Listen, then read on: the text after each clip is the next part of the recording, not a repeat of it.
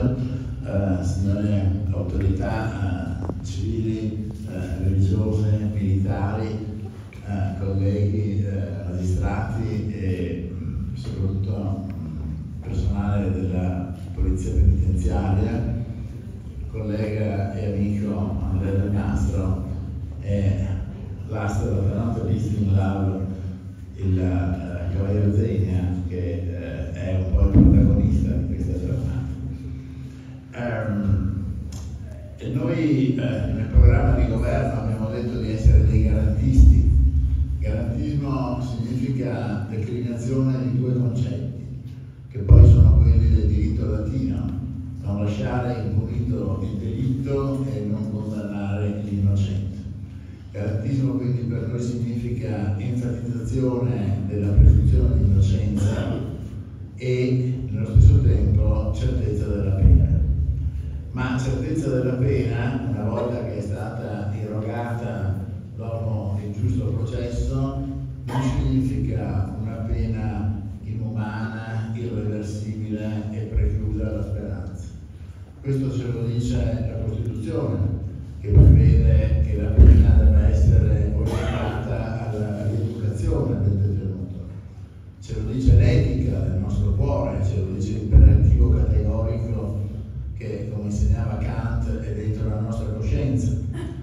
E da ultimo, ma forse più importante, ce l'ha detto il Papa.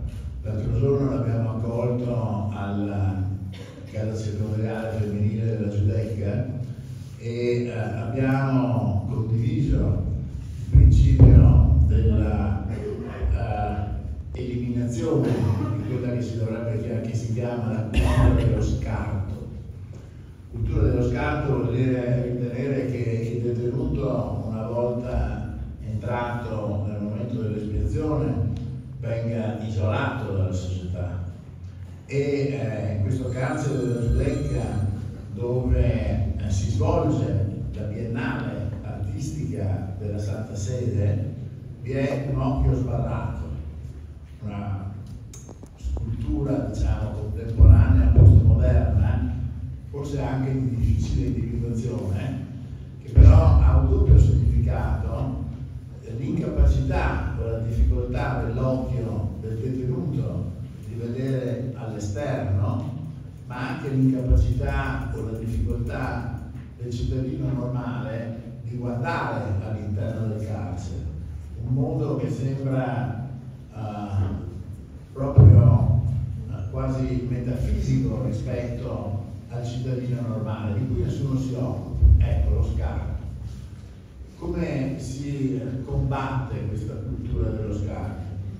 Innanzitutto si combatte attraverso la certezza della pena. Guai se lo Stato, dopo aver minacciato e irrogato la pena in caso di colpevolezza conclamata, non desse esecuzione, perché perderebbe autorevolezza e autorità.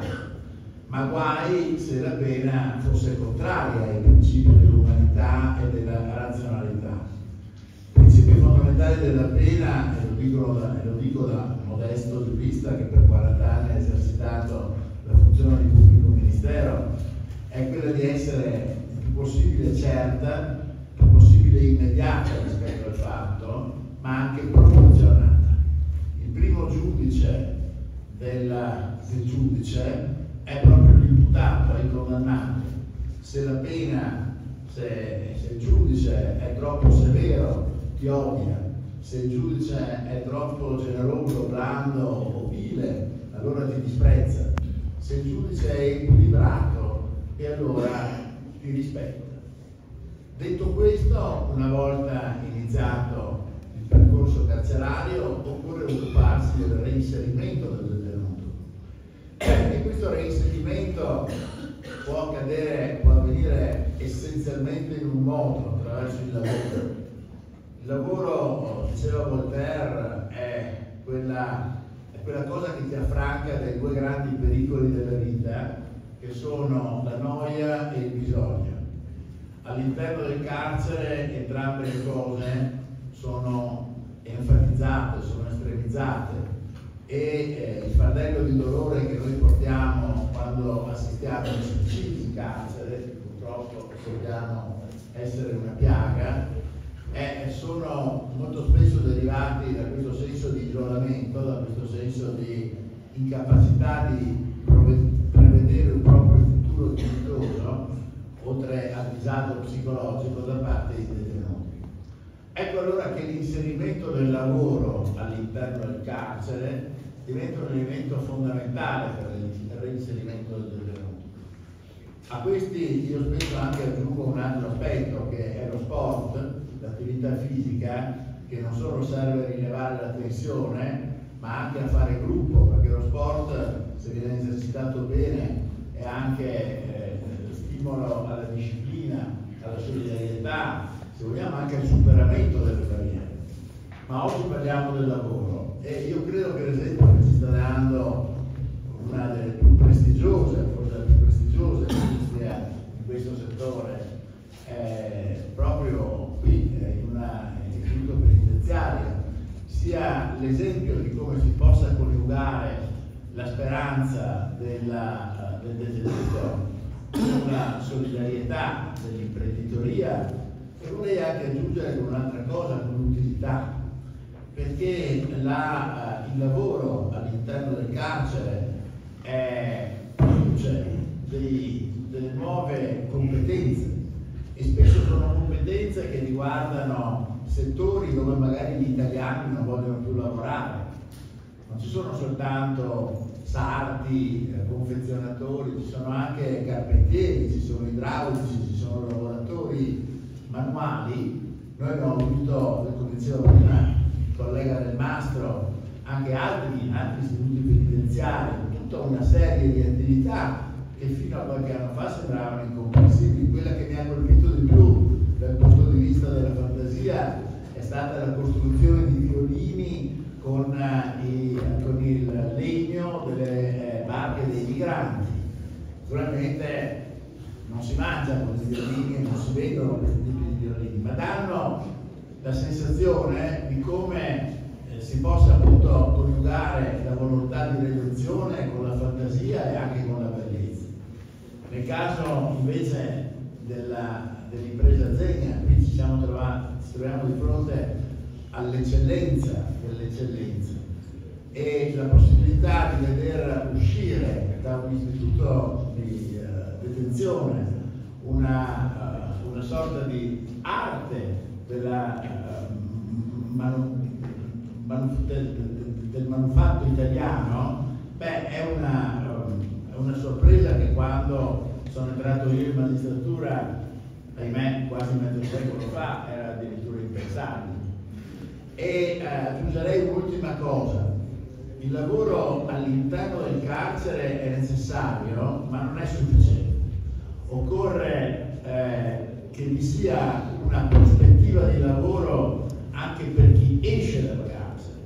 Perché una volta che hai imparato in, tra le sbarre, nella situazione di detenzione, chiamiamola così, un'attività, se tu esci e ti trascini appresso il marchio di Caino del detenuto, rimani isolato e la tentazione di essere un recidivo nella commissione del reato è purtroppo confermata dall'esperienza.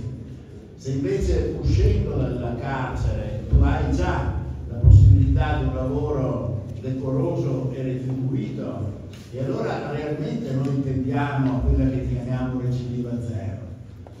Questo è un progetto che noi abbiamo iniziato praticamente da quando io mi sono inserito in questa struttura delicatissima che ho l'onore di presiedere.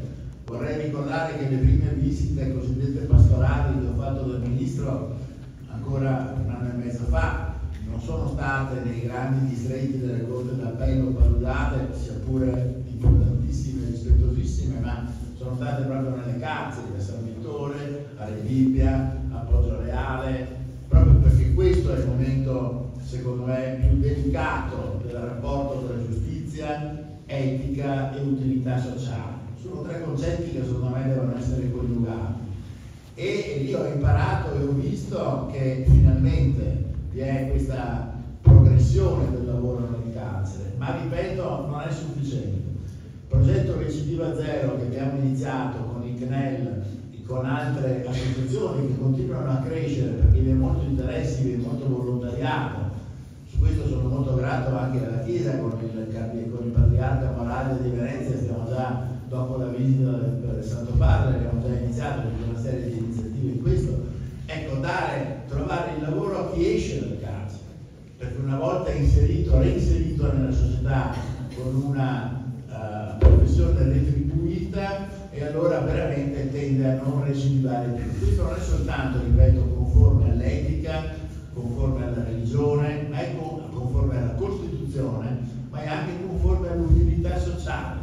E quindi in questo senso io sono gratissimo a tutti voi che avete avuto questa iniziativa e naturalmente in particolare al uh, Cavaliere Zegna che di questo si è fatto promotore che rappresenta in questo momento la più alta espressione della coniugazione tra lavoro, arte